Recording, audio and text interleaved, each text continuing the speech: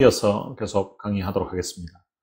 어, 좋은 설교자가 되는 것은 노력만 한다고 되는 것이 아닙니다. 자기가 아무리 어, 좋은 설교를 할 수 있다고 하더라도 좋은 설교자가 되는 것은 한계가 있다는 것입니다. 그렇기 때문에 인간의 어떤 연약함, 부족함 때문에 하나님 앞에 기도해야 되고 하나님의 은혜가 어, 있어야 좋은 설교자가 될 수 있는 것입니다. 어, 그리고 이 좋은 설교자가 되기 위해서는 하나님의 은혜, 하나님의 능력을 입어야 합니다. 어, 하나님, 가정도 마찬가지입니다.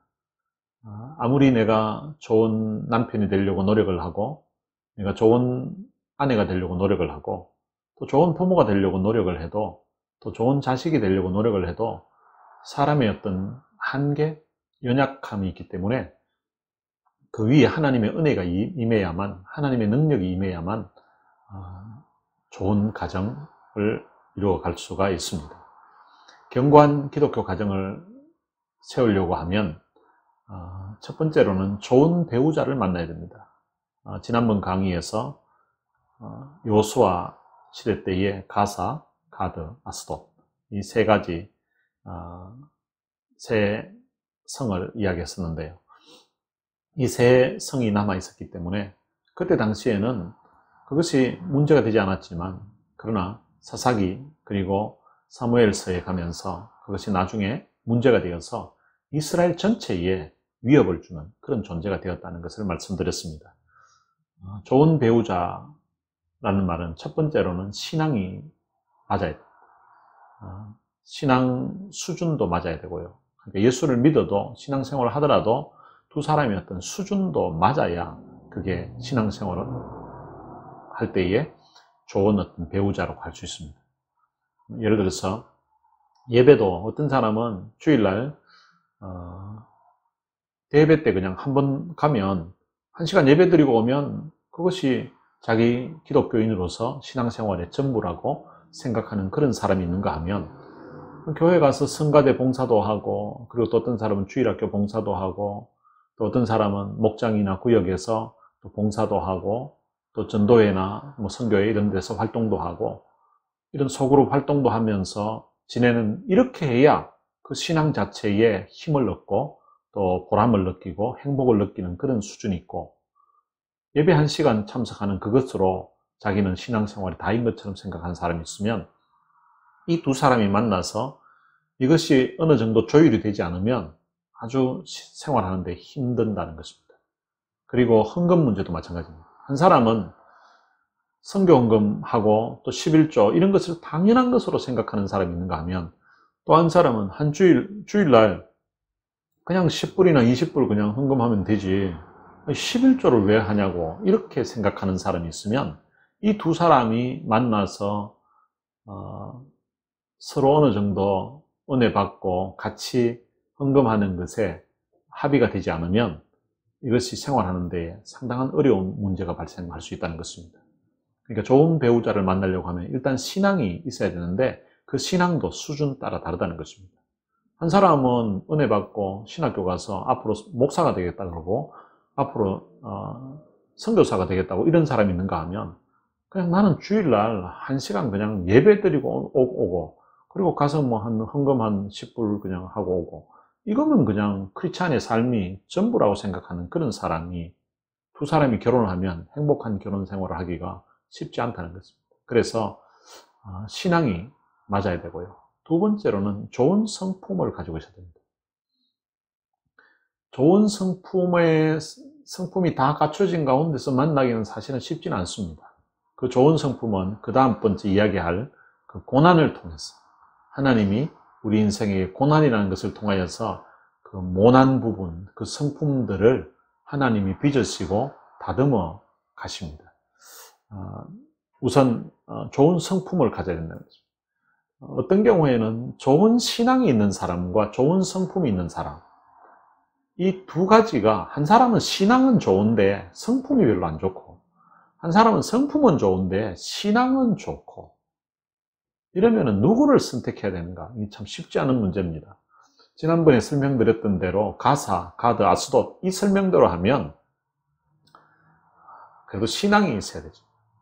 어, 그런데 어떤 사람은 성품은 좋은데 또 신앙이 전혀 없으면 이게 복음을 전해서 신앙이 갖게 되면 뭐 더 이상 말할 필요가 없는데 근데 성품만 좋고 신앙은 갖지 않으려고 하고 이런 상황이 계속 지속되게 되면 그것에도 결혼 생활에 어려움이 있습니다. 일단 제일 우선적인 것은 신앙이 좋아야 되겠고 그리고 그 신앙이 좋다는 말에 사실은 이 좋은 성품도 같이 포함됩니다만은 이 좋은 성품을 가지고 있어요. 성품이 좋다는 것은 어떤 남을 배려하는 마음이 크면 아, 그것이 좋은 성품이라고 할 수 있습니다.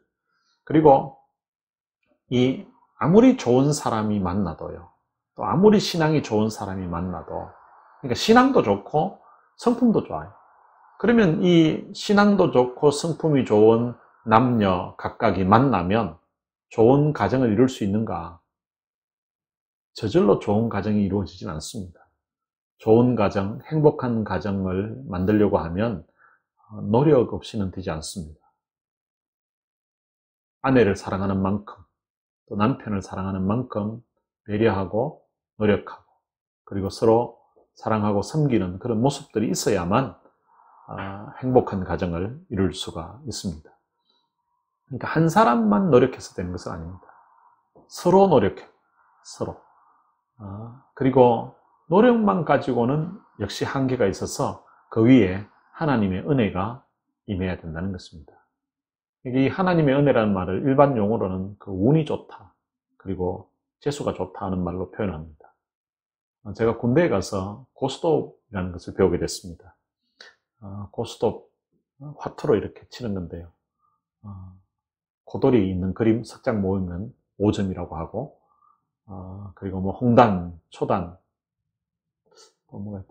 청단, 뭐 이런 걸 하면 3점 해서 3점이 나면 기본 점수가 되고 광짜리 3개 모으면 3점 뭐 이렇게 어, 피는 10개가 모으면 1점 그 다음 하나 더 넣으면 2점 그리고 12장의 그 피가 모이면 3점 이가 기본이 되고 어, 거기에서 고 할 거냐 스톱 할 거냐 뭐 이런 게 하는 건데 군대에서 그걸 처음 배운 거 그것도 쫄병 시절에. 쫄병 시절에는 이게 잠이 모자라는데 고참들이 잠을 안 재우고 그걸 치자는 거예요. 그러니까 저는 잠을 자야 되는데 잠도 못 자고 돈도 잃고 처음 하는 사람이 그 돈을 딸 수가 없거든요. 고참들은 자기는 늘 하던 것이니까. 나는 이거 짝을 맞추는 수준이니까. 근데 이제 그걸 이렇게 보면서 이제 저도 쳐보면서 아, 이게 참 이 그 화토판 있잖아요. 그 고스톱 그 판이 마치 우리 인생과 비슷하다는 것을 이렇게 느끼게 됐습니다. 아, 뭐 그게 고스톱 치든 아니면은 뭐 포카 포카로 하든지 간에 아, 하다 보면 자기가 이제 손에 쥐는 패가 있잖아요. 손에 쥐는 패가 있고 그리고 어, 밑에 이제 깔리는 게 있죠. 그리고는 자기가 필요한 걸 내고 그리고 그것을 이제 밑에 깔린 걸 하나 이렇게 또 오픈합니다. 그렇게 해서 자기가 갖고 싶은 걸 갖게 되는데 어, 그 고돌이라는 것은 어, 이 고돌이 그 그림이 세 그림 있는 게 있습니다. 그것을 만약에 내가 세 장을 내가 다 가지고 내가 저, 제일 먼저 하는데 가지고 있는데 근데 밑에 보니까 그것과 매치되는 것이 다 깔려 있는 거예요. 그러면은 이게 고돌이를 할 수 있는가? 그게 다 하는 것은 아닙니다. 이게 순조롭게 풀리려고 하면 세 번 돌면 되죠. 처음에 내가 하나 먹고, 그 다음 또 내 순서가 됐을 때 또 하나 먹고, 그리고 세 번째 내 순서 되어서 하면은 기본 5점으로 이제 나는 거예요.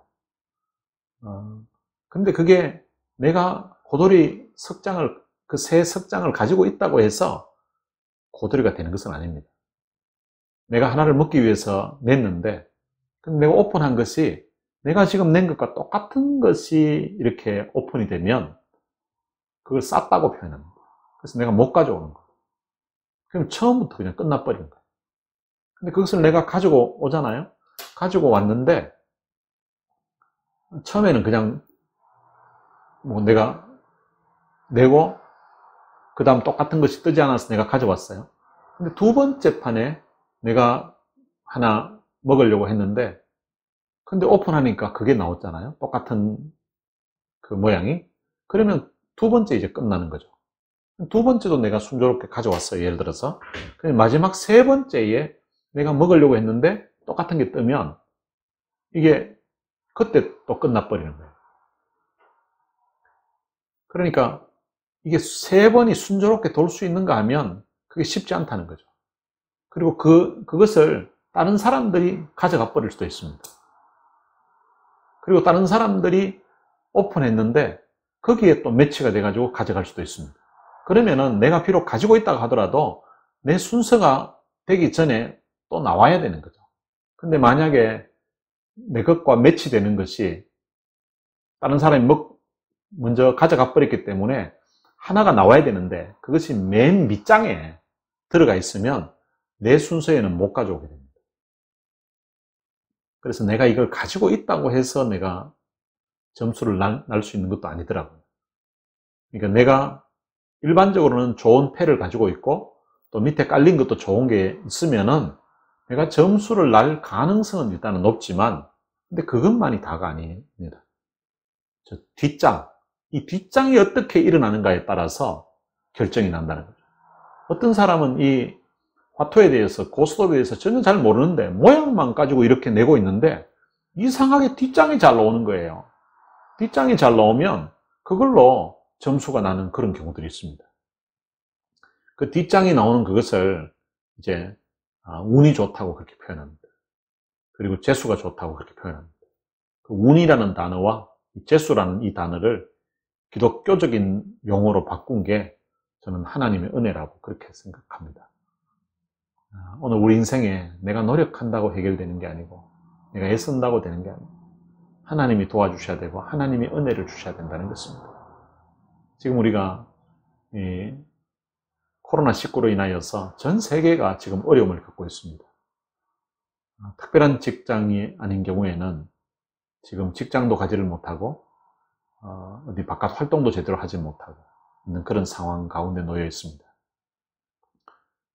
내가 아무리 노력을 해도 내 회사가 그냥 문을 닫아버리고 그리고 빌딩 자체가 문을 닫아버리게 되면 내가 재주가 있어도 내가 노력을 한다고 해도 해결되는 문제가 아니라는 것입니다. 오늘 우리 인생 노력에 한계가 있다는 것입니다. 그 눈에 잘 보이지도 않는 그 바이러스 때문에 지금 전 세계가 두려움과 공포 가운데 있고 그 바이러스 때문에 수많은 사람들이 지금 죽어가고 있다는 것입니다. 오늘 우리 인생이 바로 이런 존재라는 것입니다. 오늘 우리 인생의 노력만으로 할 수 있는 게 없다는 것입니다. 지금까지 우리는 우리가 노력하면 노력한 만큼의 어떤 결과가 주어진다고 생각했던 것 같아요. 얼마 전, 불과 한 두 달 전까지만 해도 미국은 역사상 가장 낮은 실업률, 어떤 경기를 자랑했었습니다. 근데 지금은 역사상 가장 실업률이 높은 불과 한 두 달 만에 완전 상황이 바뀌어버린 그런 결과가 주어지게 됐다는 것입니다. 오늘 우리 인생도 마찬가지입니다. 가정도 두 사람이 정말 멋있는데 근데 만나서 행복하게 잘 사는 가 그렇지 않을 수도 있다는 것입니다. 우리는 가끔씩 연예인들 이렇게 어, TV에서 뉴스로 또 예능에서 볼 때가 있습니다. 정말 멋있는 배우고 정말 참 매력적인 사람인데 둘 다 재산도 많고 인기도 많고 최고의 것을 다 가지고 있는데 그 두 사람이 결혼해서 불과 1년, 2년 살지를 못하고 이혼했다는 그런 소식들을 보게 됩니다. 예능 프로에서 인고 부부라고 자랑하고 너무 행복하게 웃고 있는 그런 모습을 본 지가 불과 1년, 2년인데 그런데 이혼했다는 그런 소식을 뉴스를 통하여서 접하는 경우들이 있습니다. 오늘 우리의 삶에 하나님의 은혜가 없으면 그렇게 될 수 있다는 것입니다.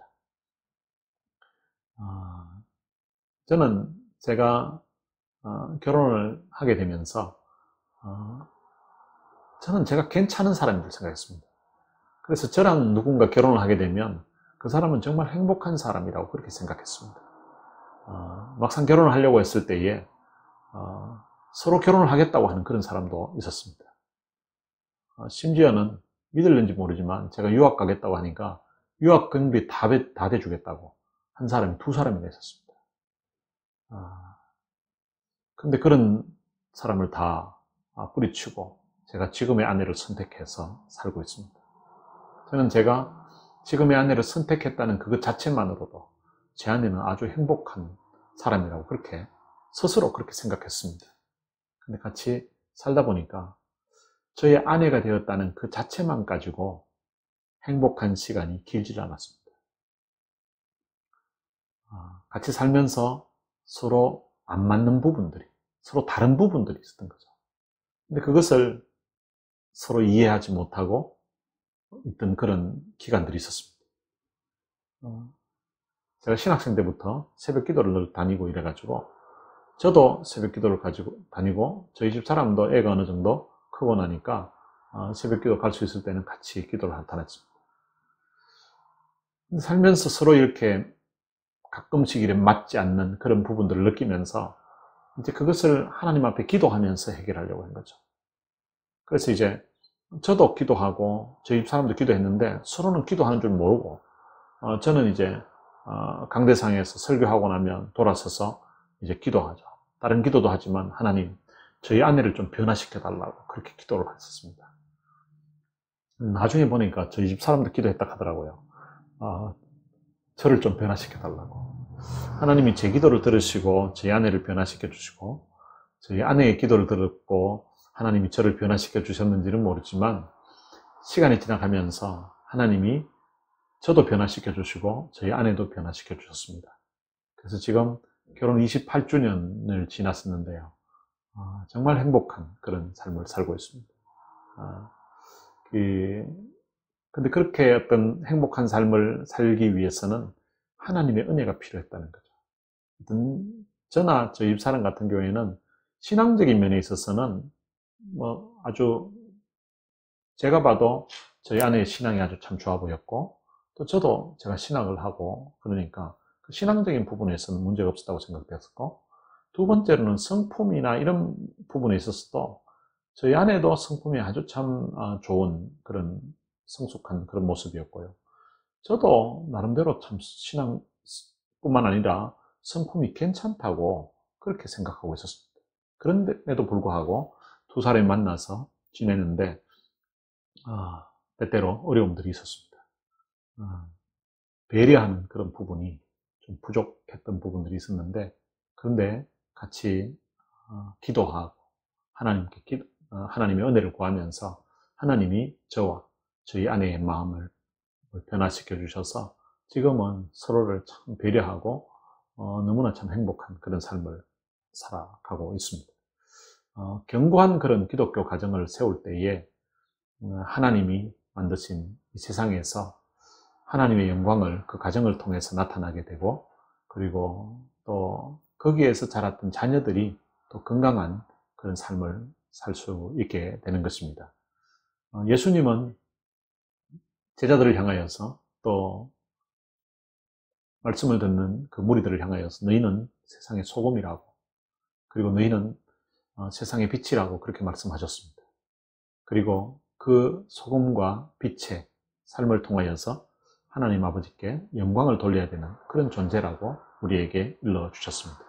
그래서 우리가 하나님의 말씀을 우리가 제대로 깨닫게 되면 어, 하나님이 원하시는 그런 가정을 이해하고 그리고 하나님이 남편에게 요구하시는 바가 무엇인지 그리고 하나님이 아내에게 요구하는 바가 무엇인지 그리고 가정에서 남편과 아내가 어떻게 서로 협력하면서 서로 배려하면서 살아야 되는 건지 그것을 알게 되고 그 말씀에 순종할 그런 자세 그리고 그 순종하게 되면 어, 행복한 그런 가정을 이룰 수가 있습니다. 그리고 두 번째로는 하나님이 이런 성숙한 신앙인으로 만들기 위해서 하나님이 말씀을 통해서 기도를 통해서도 훈련을 하시지만 아, 하나님이 고난이라는 것을 통하여서 고통이라는 것을 통하여서 시련이라는 것을 통하여서 우리를 연단하고 우리를 훈련시켜 가신다는 것입니다.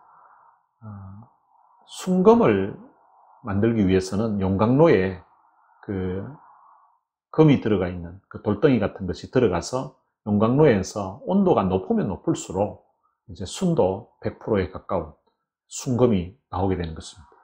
근데 이 온도가 높지 않게 되면 이 적당한 온도에서는 순도가 높은 금이 나올 수가 없습니다.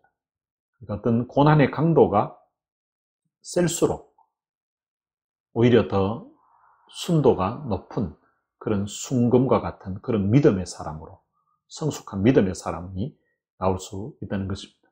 성경에 나오는 인물들을 보면 어, 모두가 다 그런 고난에 그런 고난이라는 터널을 지나고 고난이라는 그런 구덩이 같은 그런 골짜기를 지나서 고난의 골짜기를 지나서 성숙한 어떤 하나님의 사람으로 서게 되는 것을 우리가 깨닫게 됩니다.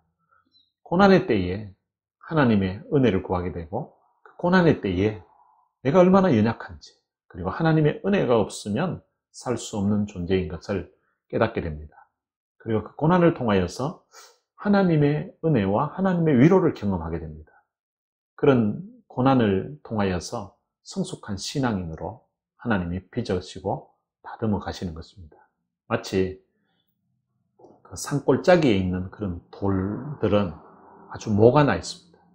그런데 어, 비가 오고 이러면서 그 산골짜기에 있는 돌들이 이제 빗물에 쓸려서 이렇게 내려오게 됩니다. 내려오면서 부딪히게 되는 거죠. 계속 부딪혀서 그것이 이제 나중에 저 강가에 예, 강가에까지 오게 되면 강가에 있는 돌들은 모난 돌들이 거의 없습니다.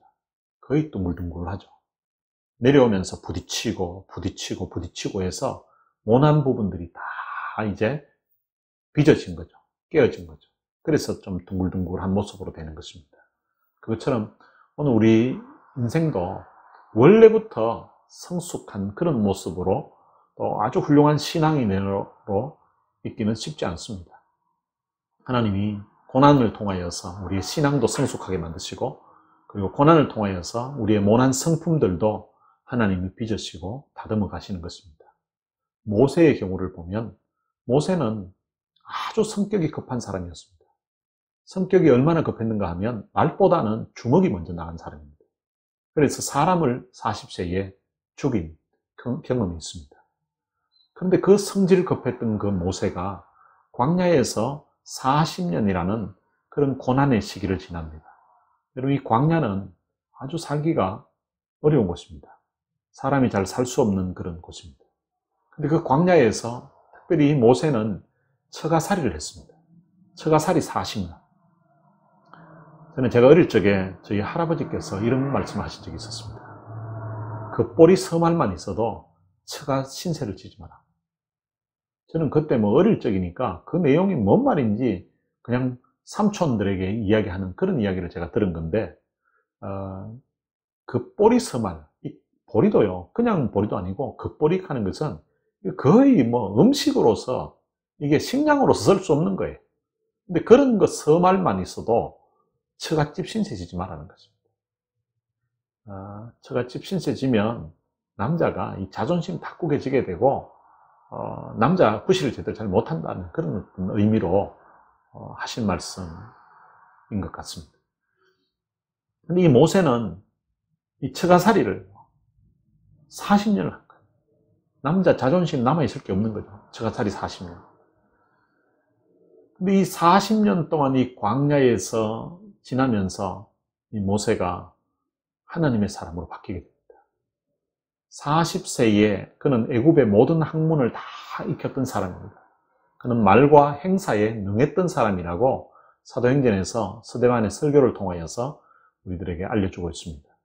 그러니까 모세는 말도 잘하고 아주 능력 있는 사람 이었습니다. 역사가 요세푸스에 의하면 이 모세는 전쟁에 나가면 아주 맹장이었다고 합니다. 그런데 그가 40세가 되었을 때 40세가 된 정말로 당시의 최고의 어떤 학문 그리고 최고의 정점에 모든 것을 익히고 있는 그 사람에게 하나님의 사람이라고 부른 사람은 아무도 없었습니다. 그런데 광야 40년을 지나고 나서 모세에게 붙여준 이름이 있는데 그것은 하나님의 사람입니다. 하나님의 사람. 그리고 하나님이 그 모세에게 평가하기를 어떻게 평가했는가 하면 이 땅에서, 이 지면에서 가장 온유한 사람이라 그렇게 평가했습니다. 원래 모세가 온유한 사람이 아니었습니다. 모세는 말보다 주먹이 먼저 나갔던, 그래서 사람을 죽였던 사람입니다. 그런 모세가 광야 40년이라는 그런 고난의 시기를 지나면서 아주 성숙한 신앙인이 되었다는 것입니다. 하나님이 하나님의 사람들을 다듬어 가실 때에도 바로 그런 인생의 광야를 경험하면서 물이 없고 그리고 먹을 양식이 없고 하는 그런 거칠은 광야를 지나가게 되면서 하나님의 은혜 없이는 하나님의 도움 없이는 살 수 없는 존재임을 고백하게 하고 그리고 그 광야에서 하나님 앞에 기도하게 만들고 기도의 사람으로 만들어가는 것입니다. 그래서 성숙한 신앙인으로 만들어가는 것입니다. 하나님은 지금도 이런 고난을 통하여서 사람을 빚어가시는 것입니다. 어, 제가 어, 지금도 사실은 약간은 성격이 급한 면이 있을 수 있는데 어, 제가 젊었을 때는 아주 성격이 더 급했던 것 같아요. 그렇다고 해서 뭐 일반 사람들에 비해서 성격이 그렇게 급하고 뭐 이런 건 아닌 것 같은데 제가 어떤 목사로 어, 주의 종으로 하는 그 관점에서 봤을 때에 아마 성격이 좀 급한 것 같았어요. 근데 성격이 급한 사람들이 또 성질을 또 내면 또 잘 내거든요. 근데 제가 어, 성질을 거의 안 냅니다. 화를 거의 안 내요. 어, 화를 안 내게 된 그 계기가 있었는데요. 제가 20대 초반에 20살, 21살 때에 허리를 다쳐가지고 18개월 동안 제가 고생을 한 적이 있었습니다. 근데 이제 18개월 동안 고생하고 허리가 이제 어, 특별한 하나님의 은혜로 제가 허리가 낫게 되었습니다. 허리가 18개월 만에 낫게 되었는데요. 낫고 나서 그 다음 어떤 일이 있었는가 하니까 제가 소리를 지른다든지 성질을 내면 이게 허리에 통증이 오는 거예요. 화를 내면 허리에 통증이 오는 거예요. 어, 그리고 기도를 안 하고 낙태하고 이렇게 살면 이 허리에 통증이 오는 거예요. 이게 신기할 정도로 그런 일이 계속 반복이 됐어요. 그래서 어떤 데는 막 성질 나서 막 성질 한 부리고 나면 허리가 다시 아파가지고요. 며칠을 고생하는 거예요. 그러면 이제 기도원에 또 올라가가지고 하나님 성질 부린 거 잘못했다 그러고 회개하고 이러면은 이게 또 괜찮아져요. 이제 그것이 이제 반복이 여러 번 되다 보니까 그때 제 마음에 이런 생각이 드는 거예요. 아, 이게 어떤 때는 이거 내가 성질 낼 상황일 때 아, 성질을 내고 나면 이 허리가 아플 걸 생각하니까 이게 너무 힘든 거예요. 그래서 아, 이게 참는 게 아, 차라리 낫겠다. 그래가지고 이제 그 다음부터는 웬만하면 허리 아파가지고 또 밤새도록 철야기도 하면서 막 회개하고 이것보다는 성질 안 내는 게 훨씬 낫겠더라고요. 그래가지고 이제 성질을 거의 안 내게 되는 거죠. 그러다 보니까 좀 여유가 있게 된 것 같습니다. 그러면서 이제 성품들이 이렇게 아, 다듬어지고 빚어져가는 그런 모습으로 되었습니다. 어, 모세뿐만 아니라 성경에 나오는 다른 인물들도 마찬가지입니다. 어, 요셉 경우도 보면 어, 요셉이 17세의 형들에게 죽을 뻔했다가 종으로 팔려갑니다. 그리고 17세에서 30세까지 13년의 세월을 요셉은 애굽에서 종살이를 하게 됩니다. 그리고 죄수로 또 2년 이상 보내게 됩니다. 그러니까 인생의 어떤 젊은 시절을 종살이, 죄수로 그렇게 13년의 세월을 보냈습니다. 근데 이 요셉의 경우를 보면 어, 뒤에 형들이 아버지가 돌아가시고 나서 우리가 잘못했다고 그렇게 이야기를 합니다. 잘못했다고 이야기했을 때에 어, 요셉은 그 형들에게 이런 말을 합니다. 당신들은 나를 헤아려 하였으나 하나님께서는 그것을 선으로 바꾸사 어, 오늘과 같이 많은 사람의 생명을 구원하게 하려 하셨다고 그렇게 이야기를 합니다. 그럼 요셉이 처음부터 팔려갈 때 그때부터 요셉의 삶에 아무런 고난도 없고 어려움도 없고 요셉은 고난이 있, 더라도 그것을 아, 믿음으로 하나님의 특별한 뜻이 있겠거니 이렇게 받아들였을까? 그렇지는 않다고 생각합니다. 그 이유는 요셉이 30세에 이제 총리가 되고 결혼을 했습니다. 결혼을 하고 나서 첫째 아들을 낳았는데 첫째 아들 이름이 머나세입니다. 머나세의 뜻이 뭔가 하면 하나님이 잊어버리게 하셨다는 것입니다. 아, 버지 집에서 있었던 그 모든 고난을 잊어버리게 하셨다고 하는 것입니다. 그러니까 요셉이 총리가 되고 총리가 되자마자 바로 결혼을 했습니다. 결혼을 했는데 또 총리가 되었을 때 그가 이제 애굽 역사에 없었던 풍년이 일어나는 거예요. 그럼 자기가 총리 되자마자 풍년이 일어나면 얼마나 기분 좋겠습니까? 거기에다가 이제 결혼을 하게 됐습니다. 아, 요셉이 어떤 사람과 결혼했을까? 아마 그 당시에 어떤 최고의 어떤 매력적인 그런 여인이었을 것이라고 어, 짐작됩니다. 그런 여인과 같이 사랑을 나누고 그런 가운데 이제 아들을 얻게 되었습니다.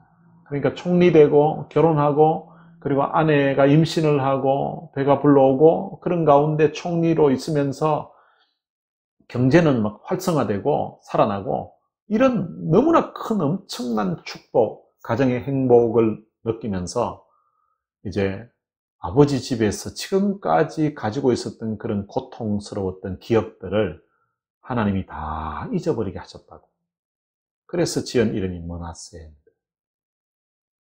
말을 바꾸면 그때 이전까지 기억했다는 것입니다. 아버지 집에서 형들에게 죽을 뻔했고 그리고 종으로 팔려왔고 지난 10여 년을 10년 정도를 적어도 종살이를 하면서 겪었던 그런 아픔 거기다가 억울하게 누명 쓰고 감옥에서 2년 이상 있었던 그런 고통들을 나이 30세까지 결혼하고 얼마 후까지도 기억하고 있었다는 것입니다. 근데 아들을 낳았을 그때에 하나님이 다 잊어버리게 하셨다는 것입니다. 요셉의 마음에도 원한이 있었고, 요셉의 마음에도 억울한 마음이 있었다는 것이죠. 마음의 고통을 느끼고 있었고, 상처를 가지고 있었다는 것입니다. 그런데 하나님이 엄청난 은혜를 부어주신 것입니다. 상처보다 더 큰 은혜. 그가 겪었던 고난보다 더 큰 하나님의 위로, 하나님의 은혜가 주어졌다는 것입니다. 그래서 그 고난을 그가 이겨 나올 수가 있었고, 그 모든 이제 고난에 대한 기억 자체를 이제는 잊어, 잊어버릴 수 있도록 하나님이 만들어 주셨다는 것입니다. 오늘과 부부가 결혼해서 살면서도 아내에게도 과거에 상처가 있을 수 있고요. 남편에게도 상처가 있을 수 있습니다. 그런 상처들을 신앙생활 하면서 하나님이 어루만져 주실 수도 있고요. 그리고 또 하나님이 배우자로 세우신 그 남편을 통하여서 아내의 과거의 어릴 적부터 그리고 또 지금까지 살아오면서 있었던 그런 아픔들을 위로하고 또 상처를 치유하고 회복시켜 줄 수 있는 그런 역할을 남편에게 그리고 또 아내가 남편을 또 치유하고 회복할 수 있도록 그렇게 배려할 수 있도록 만들어 주셨다는 것입니다. 그래서 우리가 성숙한 그런 신앙인이 되기 위해서는 말씀을 통하여서 하나님이 하나님의 뜻을 깨닫게 되고 은혜를 받고 그 말씀에 순종하면서 우리가 성숙한 신앙인으로 설 수도 있고 또 우리의 삶에서 고난이라는 그런 어떤 시련이라는 과정을 겪으면서 하나님이 우리를 빚으시고 다듬어 가셔서 그 고난 가운데 하나님의 위로와 하나님의 은혜를 통하여서 성숙한 신앙인으로 서게끔 만들어 주실 수도 있습니다. 그래서 우리가 부부가 살면서 제일 좋기는 말씀 듣고 깨닫고 그리고 기도하면서 은혜를 경험하게 되고 또 찬양하면서 은혜를 경험하면서 성숙한 신앙인으로 갈 수 있으면 가장 좋습니다. 때로는 그것이 안 될 때에는 하나님이 삶의 고난을 통하여서 그런 아픔을 겪, 겪으면서 하나님의 위로, 하나님의 은혜를 깨닫게 되고 성숙한 신앙인으로 되어 간다는 것입니다. 이 두 가지를 신앙의 위인들이 다 병행하면서 살았습니다. 말씀만 듣고서 온전하게 변화된 그런 사람들은 성경에 없습니다. 다 삶의 그런 고난을 겪어가면서 성숙한 신앙인으로 설 수가 있었습니다. 부부간에도 처음부터 좋은 사람, 좋은 신앙의 사람 만나서 쭉 행복하게 살아가는 그런 사람은 없습니다. 처음 만났을 때 아직은 좀 미숙하고 아직은 서로 부족한 부분이 있지만 부부의 역할을 하나님이 그 아내에게 그리고 남편에게 서로 배우자에게 단점이 보일 때에 아, 저 단점을 내 눈에 보이게 하셨는데 저 부분들을 내가 받아주고 그리고 또 저 부분을 내가 메꾸어주고 감싸주고 그리고 저 부분을 내가 보충해주고 하는 그 역할을 위해서 하나님이 나로 하여금 이 배우자를 만나게 하셨구나 하는 그런 어떤 안목, 그런 생각이, 생각을 갖게 되면 행복한 결혼 생활 출발하는 것이라고 볼 수 있습니다. 오늘 여기까지 하겠습니다. 기도하겠습니다. 하나님 아버지 은혜를 감사합니다. 오늘도 강의를 통하여서 우리의 마음에 하나님이 무엇을 원하시는지를 깨닫게 해주시고 또 하나님의 말씀을 또 하나님의 뜻을 알아갈 수 있도록 해주신 것 참으로 감사합니다. 우리가 계속해서 배우는 강의 내용들을 통하여서 우리의 가정들이 회복되는 그런 역사가 있게 해주시고 또 우리 결혼의 삶이 더욱더 참 행복한 삶으로 변화되어 가고 또 우리뿐만 아니라 다른 사람들에게도 참 행복한 가정을 이루는 데에 일익을 감당하는 귀한 우리 학우들이 될 수 있도록 축복해 주옵소서 감사하며 예수님의 이름으로 기도드립니다. 아멘. 네, 수고하셨습니다.